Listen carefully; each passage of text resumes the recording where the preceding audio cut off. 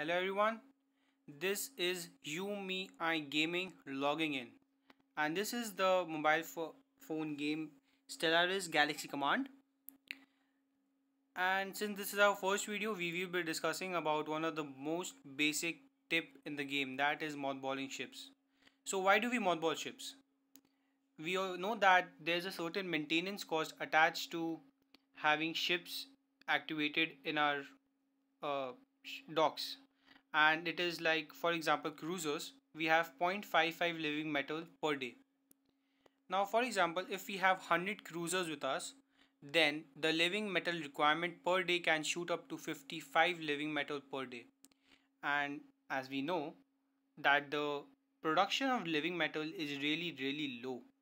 It is like 86 per day even after having almost maxed metal shapers so how to save them? How to save the cornerstones and living metal? The answer is we can mothball ships. So we there's, there are two ways to mothball ships. First is going to the three liner, then fleets, manage, dock, ship storage, and there you can mothball as many ships as you want. I'll just be mothballing one destroyer right now and this these are all the ships I have mothballed. So I'm saving like tons of resources every day due to the mothballing of my ships. Moreover the other benefit is that if some big player attacks me with like uh, 4 to 5 million power my mothball ships will be safe and they won't have a scratch on them.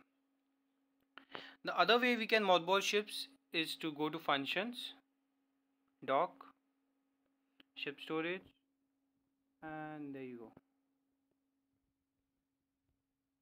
As you can see I have around 500 destroyers and 100 over 100 cruisers with me.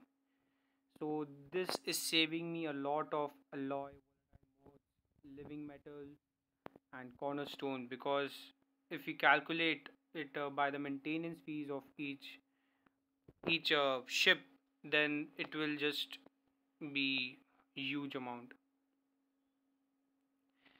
And there's another uh, thing that you should keep in mind with mothballing ships is that you should have it a sizable fleet in your hand at any time. For example i got like 532,000 fleets right now with me anytime so that i can attack a level 11 pirate anytime and get the goodies because attacking pirates is really really important as we have discussed.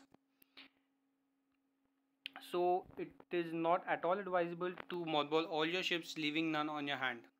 You need to understand how many ships you require at any given point of time to attack pirates. And also whenever you are going to war you need to unmothball the ships a size around two to three hours before the war starts because you cannot uh, push for you know you cannot speed up the unmothballing.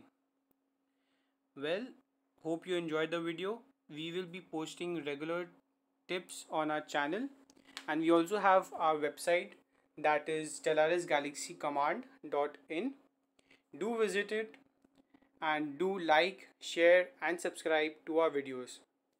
Thank you and have a nice day.